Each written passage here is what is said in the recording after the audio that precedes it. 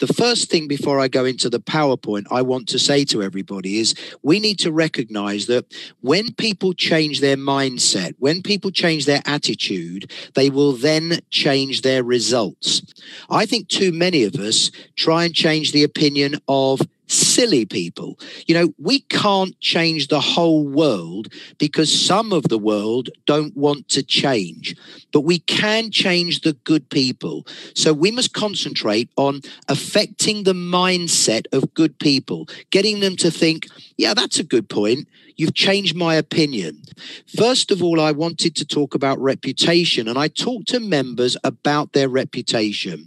So, reputation is what people say about us when we're not there we can't tell people you have a bad reputation or is your reputation good because they will always answer the answer that they want to, to have.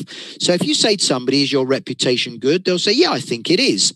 If you can ask them questions and make them question themselves, maybe they will come to the result of, you know, maybe my re- reputation is not what I think. So I wanted to share a few mindset things about BNI. And I say to people, you know, what is your reputation in the mind of others? So, a great question to ask members if you run your other business in exactly the same way as you do BNI, what would your other business look like? In the next six months. But then the next question is the most effective one.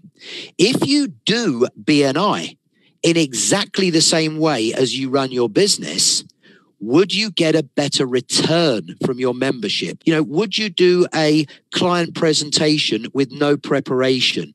And yet, do you do your weekly presentation with no preparation?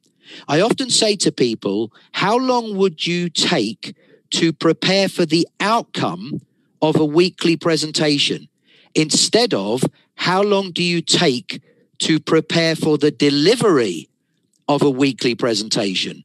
One, is a short preparation and a short delivery. The other one is a long preparation, a short delivery with fantastic results. So, do you set goals in your business? Yet, do you set goals in BNI? How many of our members join BNI to earn more money and have no idea how much they want to earn? So, it's no surprise people leave. We talk about getting more members, but if we make more of the best members think, then they will stay. I tell my members there are only two reasons why they will not receive referrals. One, everybody hates you. Now, obviously, not everybody hates you. But the fact is, I make them realize that as soon as you are in a group of people, somebody won't like you. Somebody, you're too tall, you're too short. So you have to accept that some people won't know you, but they will decide they don't like you. That's just life. If you are in a chapter where you think everybody loves each other, then the only reason is you are either naive or you're in a small chapter. So when you surround yourself with people, they will create their impression. But the other reason why you won't get referrals is people may want to help you, but they don't know how.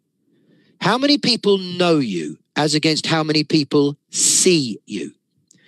The next thing I talk about is do you actually realize what you've invested in when you became a member of BNI?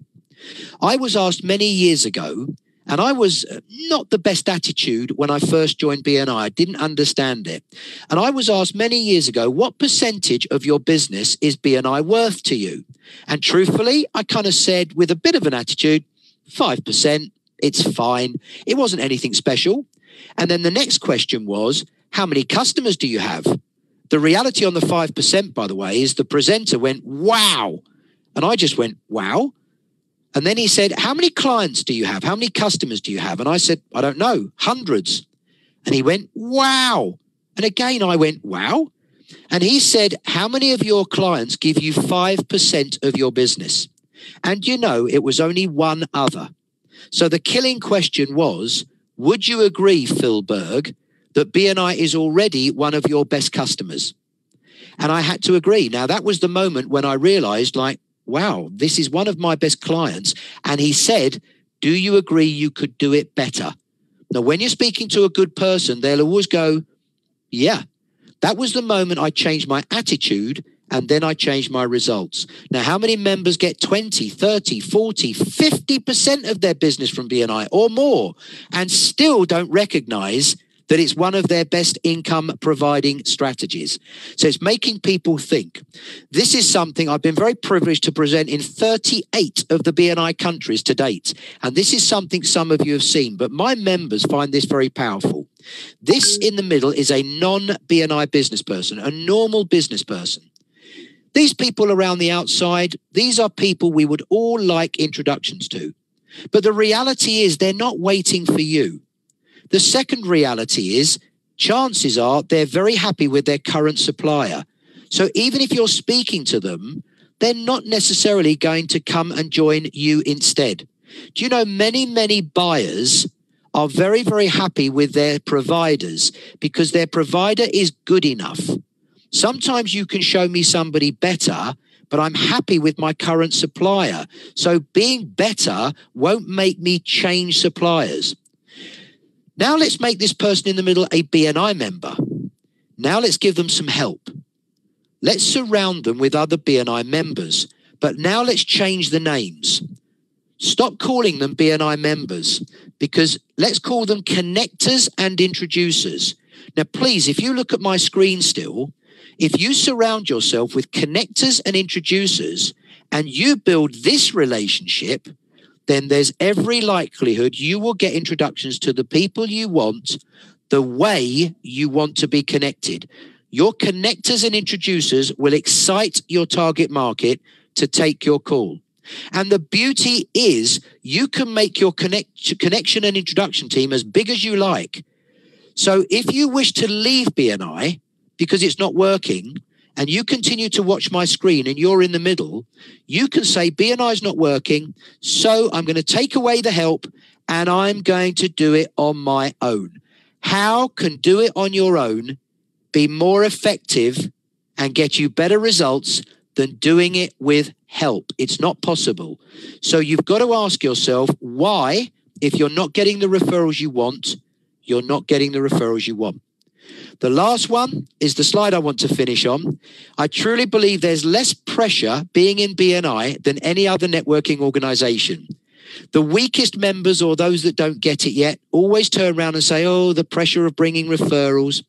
The reality is people join other networking organizations for exactly the same outcome more business. If you want to go for more friends and go bankrupt during getting more friends, it's not a good strategy. So ultimately, you're in BNI and you know that your responsibility is to help others, but you're surrounded by all of those people that will help you. So, what pressure is there really other than your own? If you're in another networking organization that say quite upfront, you don't have to pass referrals, we don't put our member under pressure. How the hell are you going to receive referrals being in an organization that you do not have to give referrals. So, those are three things in a 10 minute session, ladies and gentlemen, that I share with my members that makes the good ones think, wow, yes, I never thought of that. Thank you so much for having me here today.